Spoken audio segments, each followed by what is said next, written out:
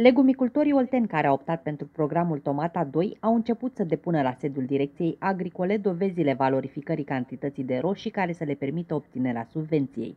Până acum s-au prezentat sute de fermieri.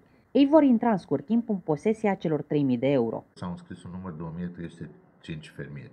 Dintre aceștia, 957 au reușit să și planteze, astfel că specialiștii Direcției Agricole Olt uh, au putut să întocmească cele două fișe, cea de plantare și cea de rodire, la, un, la acest număr de 957 de fermieri. La ora actuală, uh, un număr de 262 de fermieri deja au venit cu documentele justificative care atestă comercializarea celor 2000 de kilograme de tomate obținute după 1000 de metri pătrați. Legumicultorii se declară mulțumiți de programul Tomata și susțin că ajutorul de minimis acordat de stat i-a ajutat să-și dezvolte micile afaceri. Ei speră ca acest program să continue, considerându-l unul benefic. Ce ați optat pentru ciclu 2? Pentru că în primăvară am avut alte principii, adică am mers pe alte culturi și am zis că pentru toamnă merg cu un ciclu de tomate.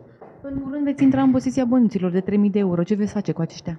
Cu acești bănuți aș vrea să dublez solarele, pentru că la anul aș vrea să pună ciclu 1, să iei mai devreme, pentru că sunt alte facilități și prețul mai mare. E mai benefică vânzarea în primăvară. Ați reușit să valorificați producția. Da, da, da.